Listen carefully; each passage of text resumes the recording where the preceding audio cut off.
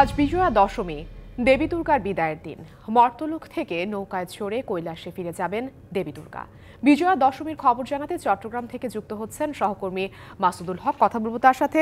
মাসুদুল হক চট্টগ্রাম মণ্ডপে আসলে সিঁদুর খেলা শুরু হয়েছে কিনা, সেই সাথে আসলে বিসর্জন কখন কি আয়োজন আছে সেখানে?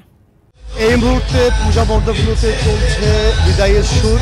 সকাল সাড়ে আটটায় অঞ্জলি দেওয়ার মধ্য দিয়ে সনাতন সবচেয়ে বড় ধর্মীয় উৎসব, শারদীয় দুর্গা পূজার যে আনুষ্ঠানিকতা, সেটি সম্পন্ন হয়েছে। একটু পরেই শুরু হবে পূজা বিসর্জন। এবং সেই লক্ষ্যে তারা আপনার প্রস্তুতি নিচ্ছেন এবং এই মুহূর্তে চলছে সিঁদুর খেলা। আমি রয়েছি নগরীর জেমসের হলে।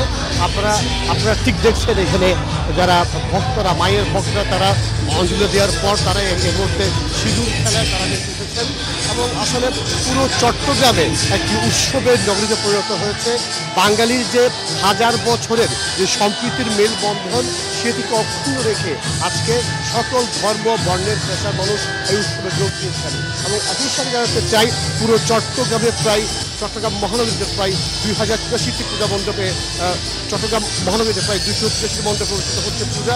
এছাড়া পনেরোটি উপজেলায় প্রায় দুই হাজার বাষট্টি মণ্ডপে এবার পুজো অনুষ্ঠিত হয়েছে এবং পূজা উদযাপন পরিষদের পক্ষ থেকে বলা হয়েছে যে সন্ধ্যা ছয়টার মধ্যে যে আপনার বিসর্জনের প্রক্রিয়া সেটি সম্পূর্ণ করতে।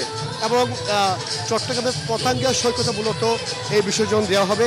এছাড়া আরও নয়টি স্থানে তারা নির্ধারণ করেছেন। এদিকে আইনশৃঙ্খলা আইনশৃঙ্খলা বাহিনীর পক্ষ থেকে দেওয়া হয়েছে বিশেষ নিরাপত্তা ব্যবস্থা। প্রায় চারস্থ নিরাপত্তা বলয় তৈরি করা হয়েছে যাতে কোনো ধরনের অনাকাঙ্ক্ষিত কোনো ঘটনা না ঘটে।